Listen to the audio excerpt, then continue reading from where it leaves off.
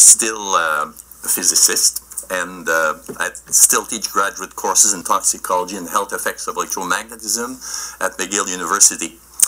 Uh, page 13 of the da raw uh, red data can be reworked to group the results according to tissue types, uh, brain and nervous tissues, heart and other organs.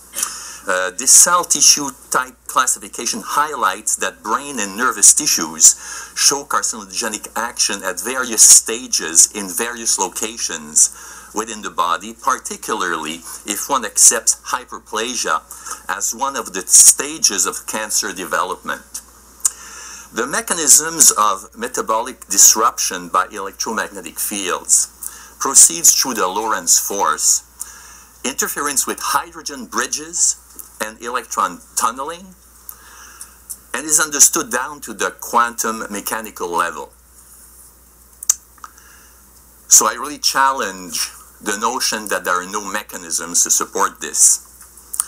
From a very basic mechanism of action on free electrons and protons, EMFs have downstream effects that reflect the complexity of cell metabolism. Biological systems are very intricate and the views of engineering are generally too simple to take, to take that into account. EMFs cannot be expected to have those responses are similar to those of alkylating agents because instead of destroying chemical structures, they interact with enzymes and restrict and disorganize metabolism. Therefore, observations of tumor incidents that are considered in your report as equivocal because they failed to display a classic dose response, the most case of schwannomas in the heart among the rats in the lowest RF exposure group should be taken more seriously because the agent at hand operates in a different way than expected traditional chemical toxicology. Our work has found that past given threshold of action, EMFs can, for some variables, have an almost flat response over two orders of magnitude. Soon after the work of Wertheimer in 1979 on ELF, a number of scientists documented the mechanisms of action of pulsed microwaves at the level of mitochondria. Aaron Sanders at Duke University pointed already in 1985 to microwave inhibition of mitochondrial electrons transport chain function of ATP production. I found uh, this group, the surviving members of this group six months ago and I asked them, what work, what impact did your work have? They said it was completely ignored then, and it continues to be completely ignored. Yet, these people have 80% of the mechanism that they understand to be working these phenomena we pointed to the, to the same oxidative phosphorylation inhibition associated with ELF magnetic fields, describing the impairment of ATP synthase and its downstream effects on uh, AMPK alpha. The changes produced by fields were similar to those of oligomycin administered and of oxygen deprivation. When oxidative phosphorylation in mitochondria is inhibited at the level of ATP synthase, delta Pm, the mitochondrial membrane potential, is increased. A 70%, a 7% increase in this potential increases ROS production by 70%. That's MEWAT 2003. Further, enzymatic reactions, the dehydrogenases that depend on deep proton tunneling that Inagaki 2013 are modified, leading to difficulties in ROS detoxification, that have been extensively documented by numerous authors, Yakymenko and Dasdag.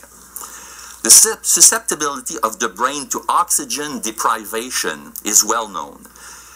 In the context of this project, where multiple observations surround the cells producing myelin, it should be remembered that myelin vesicles contain functional FOF1 ATP synthase and respiratory chain complexes and are able to conduct aerobic metabolism to support axonal energy demands. In myelin vesicles, FOF1 ATP synthase activity decreased in the presence of specific inhibitors such as oligomycin A, Ravera 2015, the substance that in our hands, Lee 2013, suppress oxidative phosphorylation under very, very small ELF magnetic fields. Although some have claimed that exposures used in the NTP are high in comparison with human exposures, this criticism ignores the fact that this, in the study, two years of rodent life are meant to represent the full human lifespan. If anything, this study underestimates the effects, and I would expect more cancers, as well as other health problems, diabetes in particular, to manifest later on should one use rodents with 70-year longevity. Whether it is amplitude modulation, FM modulation, phase modulation, or pulse modulation, biology always finds a way to extract the data from the carrier. If you have doubts about phase modulation, you can re, uh, review the work of Theodore Litovitz, who's now passed away at the Catholic University in Washington on ornithine decarboxylase.